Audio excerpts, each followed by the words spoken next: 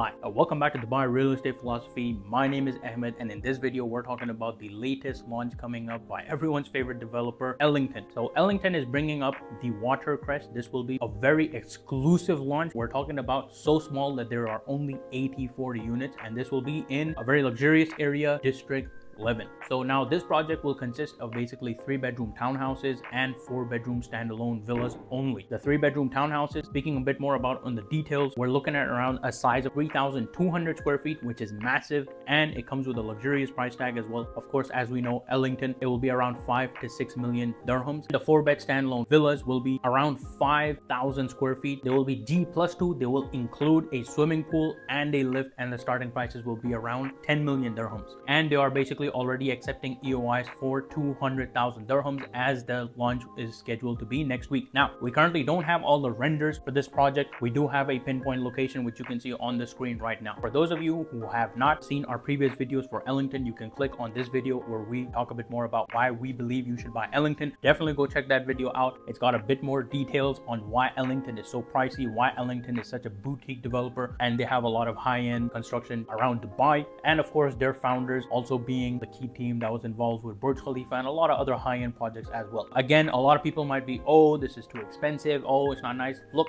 every product has a customer. This is obviously a very luxurious product in a luxurious area by a very luxury developer. Ellington is known for larger sizes, better quality, and higher price. And uh, this is definitely one of those projects, of course. For those of you who know, of course, in District 11, Ellington also has another project, the Sanctuary. We had villas of over 25 million dirhams. This is a developer that's not new to creating high-end developments that are very expensive in a luxurious area. And of course, District 11, everyone knows it's close to Mohammed bin Rashid City, right behind Meydan area, as you can see on the maps right now, close to Burj Khalifa, downtown, all these areas. Very high-end project, very exclusive project. We'll probably make another follow-up once they update us with all the renderings, all the things. But for the time being, you can see, as I mentioned, the sizes and the expected prices and the location. So if you guys have any questions about anything, feel free to let me know in the comments below. Thank you so much for watching this video. I'll see you guys in the next one. Goodbye for now. And you can conveniently reach out to me directly on my WhatsApp by scanning the QR code at the top right corner.